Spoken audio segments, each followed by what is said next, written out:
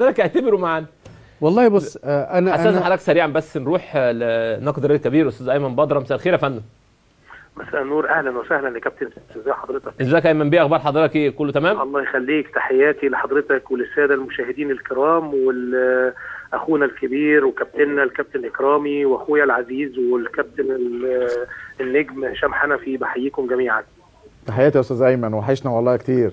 وبعدين مش هشوفك. ولا إيه؟ ما هو أنت بقى هربان مني يا كابتن. لا، بقيت كل- تقعد في التجمع ما بقتش تقعد دلوقتي عندنا. لا الصبح باجي. باجي طيب بعد صلاة. الظهر بقعد أشرب شاي كده فإيه؟ يعني بس أنت بتصحى متأخر. أصلا. لا أنا كنت بكون في الشغل يا كابتن. بس هتأخر عشان خاطرك مخصوص. والأستاذ ياسر رزق يرفدنا بقى يرفدنا مش مشكلة بقى. تبقى تبقى, تبقى تيجي تتوسطني عينيا الاثنين يا أيمن ربنا يكرمك تسلم لي يا حبيبي. إزيك يا لي كابتن؟ الله يكرمك. ربنا. يديك الصحة. أيمن بيه الحقيقة يعني ببارك لك وبحييك آه، على جريدة الأخبار طبعا بتنشر أول لقاء صحفي خاص وحصري مع آه، الرئيس آه، الجديد لل- للفيفا وده سبق يحسب لأخبار الرياضة يعني أنفانتينو في أول حديث إن هو يبقى في أخبار الرياضة ده شيء الحقيقة أكتر من رائع يعني. والله يا كابتن سيف الحمد لله رب العالمين إنه أخبار الرياضة يعني بفضل الله سبحانه وتعالى وبجهود أسرة التحرير كلها وزملائنا المحبين ليها حتى لو مش من أسرة تحريرها ومنهم آه، يعني زميلنا العزيز معتز الشامي هو طبعا أحد الصحفيين النابهين والمميزين في صحيفة الاتحاد الإماراتية. ومعتز الحقيقة بحكم عمله هو دائم يعني الانتقال والسفر وكان الحقيقة من الناس اللي بيغطوا انتخابات الفيفا. وهو على علاقة يعني من سنوات طويلة مع إنفنتينو ويمكن كلمني أكتر من مرة وكان الراجل موجود معاه. وكان في وعد إن هو آه، يعني في حالة نجاحه.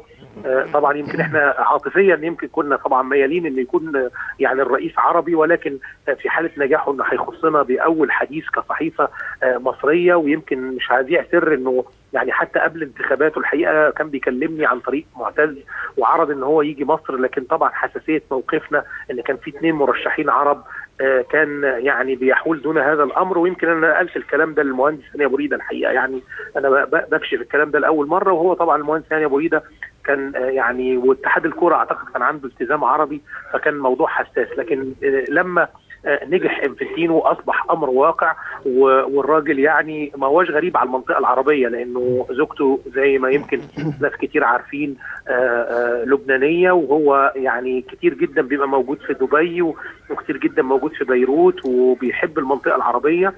الحقيقة إحنا كلمناه على موقفه من مصر بقى موقفه من الدول العربية بعد يعني الانتخابات. فقال طبعا أنا بالنسبة لي الموضوع انتهى وطبعا حتى يعني مع ال- الشيخ سلمان أو الأمير علي بن الحسين الانتخابات لن تفرقنا. أنا جاي علشان عندي هدف رئيسي مهم جدا إن أنا أعيد الهيبة للفيفا أعيد السمعة الطيبة لجمهورية كرة القدم. اللي طبعا تلوثت في الفترة الماضية أو أو يعني بمعنى أدق طبعا وده الكلام ده على لساني مش على لسانه دلوقتي أنا بقول إنه انكشف الفساد يعني لا كان موجود. هو بيقول هو بيقول تحديدا يعني أنا أتطلع لإعادة الهيبة إلى الاتحاد الدولي. آه، اتكلم طبعا عن مصر كابتن سيف. وقال إن أنا انتظروا زيارتي قريبا لمصر إن شاء الله. ما أنكرش علاقته طبعا ببلاتيني لأنه اشتغل 15 سنة في الويفا قال إنه هو طبعا بيتعامل أيضا مع بلاتر ملوش دعوة بالاتهامات اللي يعني آه، أحيطت بيه والعقوبات اللي تعرض ليها.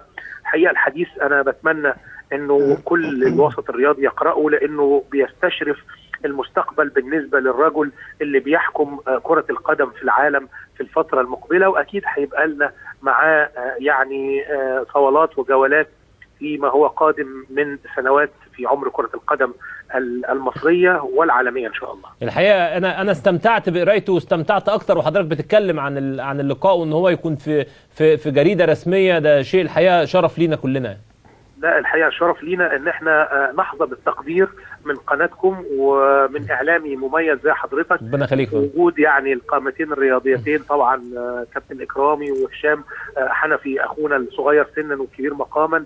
وإن شاء الله بإذن الله تعالى نحرص دائما على إن إحنا نتعاون كلنا كمنظومة إعلامية إن إحنا نشرف الرياضة المصرية والصحافة المصرية. وانتظرونا دايما في أخبار الرياضة زي ما إحنا بننتظركم على الحياة آه، بس أنا بس. أنا ليا طلب ليا طلب شخصي بعد إذنك يا فندم. لا اتفضل اتفضل. أنا أنا. عايز أعرف بس فين المكان حضرتك اللي كابتن اكرام بيشرب فيه الشاي الصبح ده؟ اوعى اوعى يا أيمن. اوعى. هو تحت بيتي بس مش هقول لك فين. لا كده خلاص كده براءك. كده براء ما ايمن بيه عرفتش خلاص. كده تمام. بشكرك يا فندم شكرا جزيلا. الاستاذ أيمن بدره الناقد الرياضي الكبير طبعا. ويعني بنبارك تاني لأخبار الرياضة الحقيقة. يعني انفراد وتقرير أكثر من رائع أستاذ معتز الشامي وإن شاء الله بإذن الله دايما كده في فاصل سريع ونرجع تاني مع نجومنا داخل استوديو الحياة